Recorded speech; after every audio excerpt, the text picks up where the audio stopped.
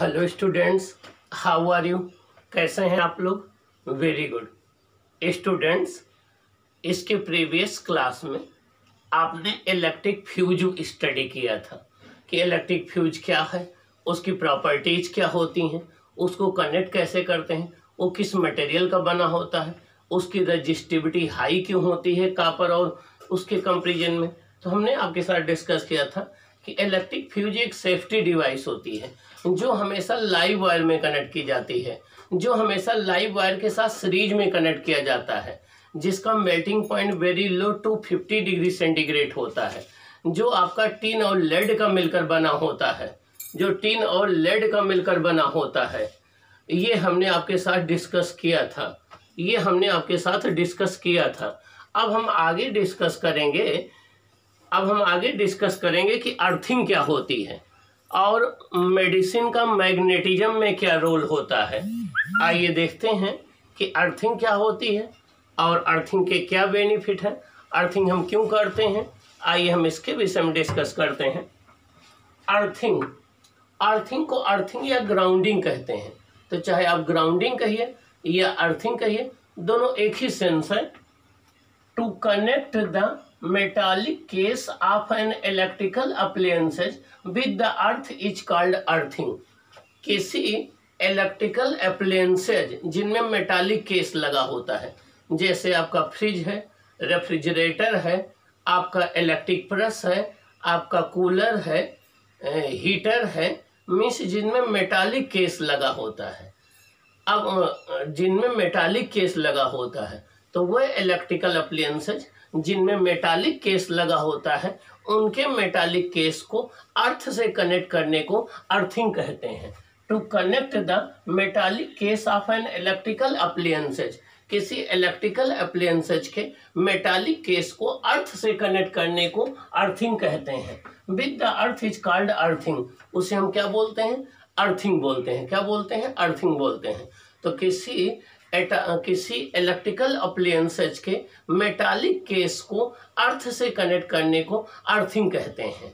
Means किसी electrical appliances के metallic body को अर्थ से कनेक्ट करने को अर्थिंग बोलते हैं। अब ऐसा हम करते क्यों हैं? आइए हम पहले यहाँ से एक्सप्लेन करें। देखिए, ये कोई इलेक्ट्रिकल अप्लायंसेज है, ये उसकी मेटालिक बॉडी है। इसके अंदर ये एलिमेंट लगा हुआ है। इसके अंदर ये एलिमेंट लगा हुआ है। अब, और ये देखिए लाइव वायर गया है, ये न्यूट्रल वायर गया है कनेक्ट हुआ है। यहाँ पर ये फ्यूज है, ये स्विच लगी हुई है। यहाँ पर प्लास्टिक इंसुलेशन था, जो किसी कारण बस ये प्लास्टिक प्लास्टिक इंसुलेशन यहाँ से हट गया था। मीन्स ये वियर एंड टीयर हो गया था। जब प्लास्टिक इंसुलेशन हट गया तो ये डायरेक्ट जाकर के मेटालिक बॉडी से टच हो गया। ये मेटालिक बॉडी से टच हो गया।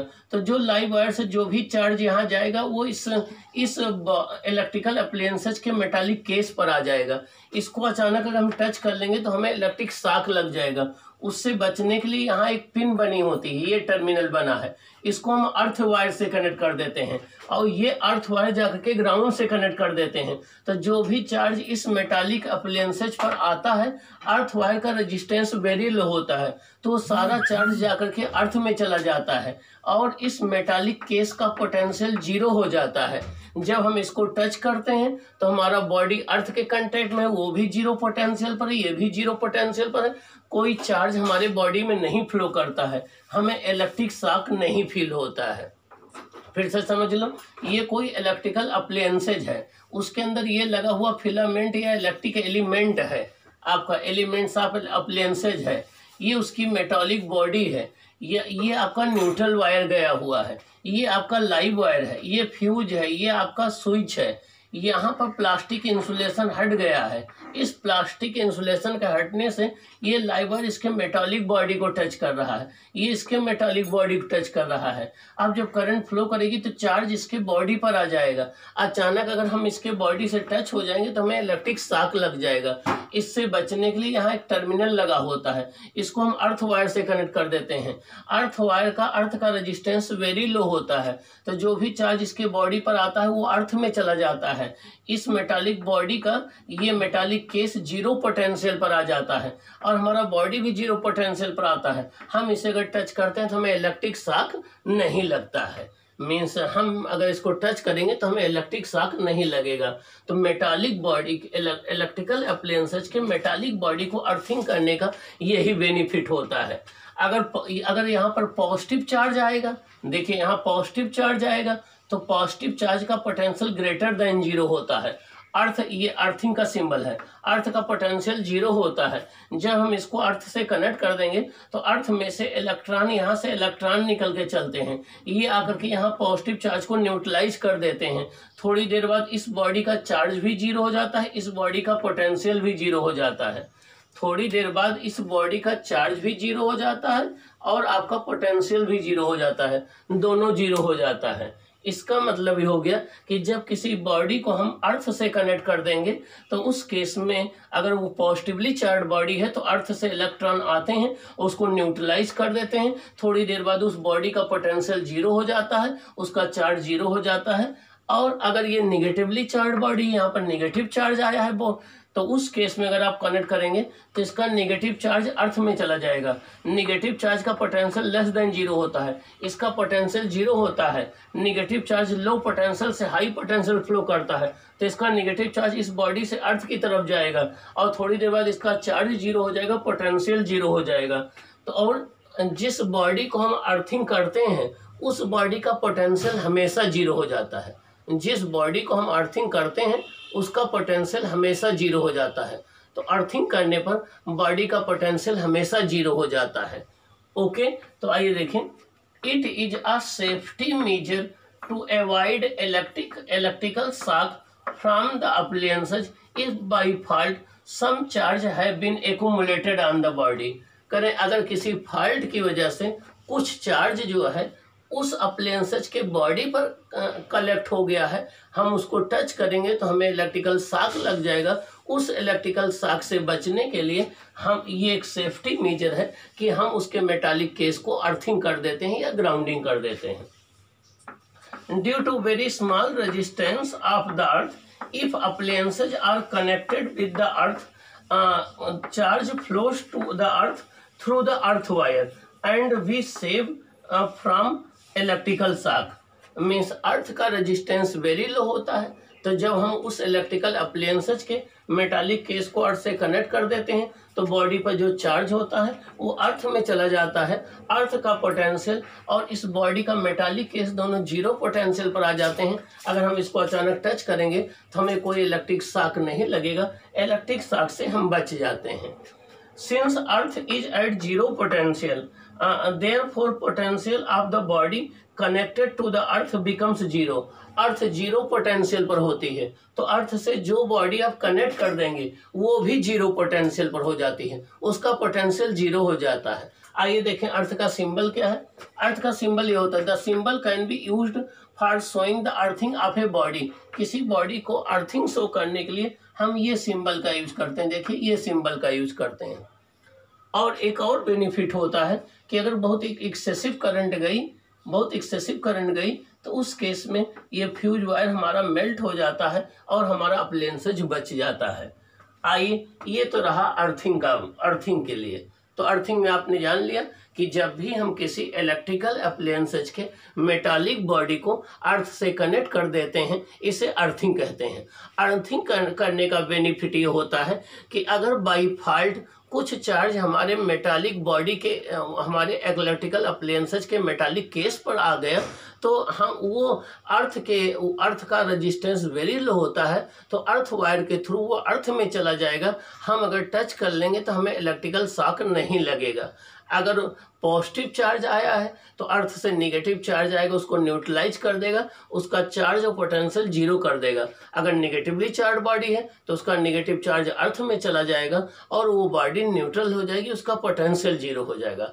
आइए अब हम देखें कि मैग्नेटिज्म का मेडिसिन में क्या रोल है। मेडिसिन में इसका क्या यूज़ है?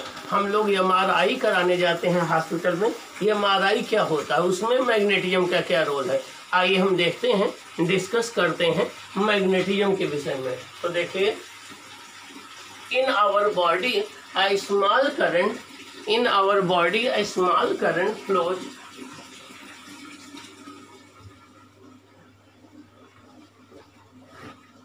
देखिए role of magnetism in medicine अब हमें देखना है कि मेडिसिन में मैग्नेटिज्म का क्या रोल है। In our body a small current travels along the nerve cells due to ions हमारे बॉडी में जो नर्व सेल होती हैं आयंस के फ्लो होने की वजह से नर्व सेल में करंट एक स्मॉल मैग्नीट्यूड की करंट फ्लो करती है। हमारे बॉडी में नर्व सेल में आयंस की वजह से एक स्मॉल अमाउंट में इलेक्ट्रिक करंट फ्लो करती है। The above current produces a very small magnetic field in our body ये जो करंट फ्लो करती है, इसकी वजह से हमारे बॉडी में एक very very small magnetism produce होता है, जिसकी वैल्यू अर्थ के मैग्नेटिज्म का लगभग वन मिलियन टाइम्स कम होता है। तो लेकिन मैग्नेटिज्म मैग्नेटिक फ़ील्ड प्रोड्यूस होती है। और ये मैग्नेटिक फ़ील्ड सबसे इंपॉर्टेंट किसके लिए होती है? हार्ट के लिए ब्रेन के लिए। Heart and brain are two main organs in our body where this magnetic field is quite significant हमारी बॉडी का हार्ट और ब्रेन ये तो ऐसे ऑर्गन्स हैं जो इस मैग्नेटिक फ़ील्ड से सबसे ज़्यादा अफेक्टेड होते हैं। जिनके लिए मैग्नेटिक फ़ील्ड सबसे ज़्यादा इंपॉर्टेंट होती है। जिनकी स्टडी हम इस मैग्नेटिक फ़ील्ड के हेल्प से करते हैं। The magnetic field of our body help us to obtain the image of its different parts by using a technique called M R I एक होता है M R I magnetic resonance imaging M R I magnetic resonance imaging magnetic resonance imaging तो magnetic resonance imaging की help से हम अपने body के different part जैसे ब्रेन और हार्ट की मैपिंग करते हैं। उस मैपिंग करने से हमें ये पता लगता है कि क्या हार्ट या ब्रेन में कोई एबनॉर्बिलिटी तो नहीं है, कोई डिज़ीज़ तो नहीं है, कोई पार्ट अफेक्टेड तो नहीं है। इसकी जाँच हम एम आर आई के थ्रू करते हैं। मैग्नेटिक रिजोनेंस इमेजिंग के थ्रू करते हैं। On analysing the image obtained by M R I M R I से जो भी इमेज हमें मिलती है, उसको हम एनालाइज करते हैं, उसकी स्टडी करते हैं। We can find the location of location and size of the brain tumour etc कहीं ब्रेन ट्यूमर हुआ है तो हम उसका साइज़ कितना बड़ा है लोकेशन कहाँ है, ये है हम एम आर आई से पता कर सकते हैं। This magnetism play magnetism play magnetism play an important role in medical तो आपने देखा कि मेडिकल में भी मैग्नेटिज्म का एक बड़ा इंपॉर्टेंट रोल है। एक और बात बता दें, इसके अलावा कुछ ऐसे ऑर्गेनिज्म होते हैं, कुछ ऐसे लिविंग एनिमल्स होते हैं, जिनको अर्थ, जो अर्थ के मैग्नेटिक फ़ील्ड को डिटेक्ट कर सकते हैं। कुछ ऐसे लिविंग ऑर्गेनिज्म होते हैं, जो अर्थ के मैग्नेटिक फ़ील्ड को डिटेक्ट कर करके उसी के अकॉर्डिंग ट्रेवल करते हैं। कुछ टाइप की कुछ फ़िश होती हैं जो अर्थ के मैग्नेटिक फ़ील्ड को डिटेक्ट कर लेती हैं। उनके अंदर स्पेशल आर्गन्स होते हैं जिनसे वो डिटेक्ट कर लेती हैं। और कुछ ऐसे साइबेरियन जो है, वो बर्ड्स होते हैं जो अर्थ के मैग्नेटिक फ़ील्ड के हेल्प से वहाँ से यहाँ तक आ जाते हैं। तो कुछ ऐसे ऑर्गेनिज्म भी हैं जिनके अंदर कुछ ऐसे आर्गन्स पाए जाते हैं जिनके हेल्प से वो अर्थ के मैग्नेटिक फ़ील्ड को डिटेक्ट कर करके और उसके हेल्प से वो अपनी जर्नी करते हैं। तो मीन्स मैग्नेटिज्म का रोल यहाँ भी है। तो ये रहा अर्थिंग क्या है? हम लोगों ने अर्थिंग डिस्कस कर लिया ग्राउंडिंग डिस्कस कर लिया शार्ट सर्किटिंग डिस्कस कर लिया ओवरलोडिंग डिस्कस कर लिया फ्यूज वायर डिस्कस कर लिया magnetic effect electric current discuss कर लिया। अब हम इसके न्यूमेरिकल सॉल्व करेंगे। और न्यूमेरिकल सॉल्व करने के बाद फिर हम chapter five sources of energy पर आएँगे। सोर्सेज ऑफ़ एनर्जी का डिस्कशन करेंगे। ये magnetic effect of electric current ये वेरी इंपॉर्टेंट चैप्टर है आपके लिए। इसको अच्छे से प्रिपेयर कर लेना है। ओके